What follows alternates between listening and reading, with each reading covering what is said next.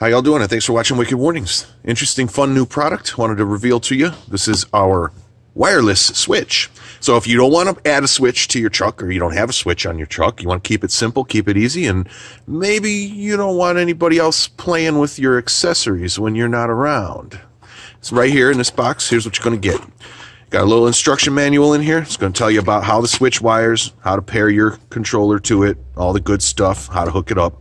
Basic manual. And then right in here, what we've got is we've got the brain and we've got two controllers in a bag. Okay. And this is a very simple, easy to use product. Power and ground in. Just feed it some power and ground from a fused wire off the battery and accessories right here for out. Simple operation. Just on, off. So I like this one because other remotes, they have buttons to turn on and off, and you don't know if the lights are on or off. You know, you press the one button and turns them on, turns them off, turns them on. When if you're in the truck, you don't know what's going on. So at least this one, you can easily know off or on for your accessories, and you get two fobs.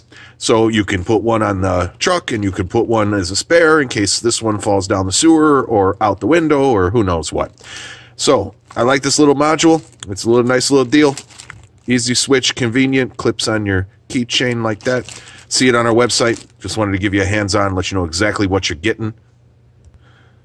This particular product is capable of 30 amps of power. So it'll more than run all the emergency lighting you could ever want. And if you need to go over 30 amps, just add a relay and it'll do anything you could ever want. Thanks again for watching Wicked Warnings. Make sure you check this out on our website.